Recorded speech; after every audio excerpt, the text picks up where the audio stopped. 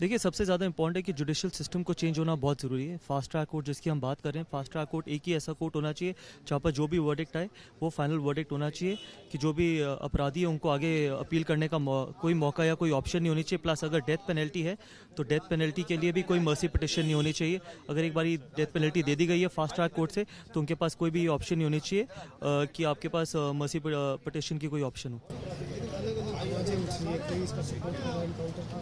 देखिए, अगर वो भागने की कोशिश करे तो मैं बिल्कुल सपोर्ट करता हूँ इसका, क्योंकि अगर अपराधी भागने की कोशिश करे तो पुलिस के पास पूरा अधिकार है कि वो एक्शन ले सके। अगर वो भागने की कोशिश करे तो मैं बिल्कुल पुलिस के साथ हूँ। देखिए, जैसे मैंने आपको बोला कि अगर वो भागने की कोशिश कर रहे थे तो बिल्कुल जस्टिस हुआ है, लेकिन हमारे लिए जुडिशल सिस्टम को चेंज करना बहुत ज़्यादा ज़रूरी है।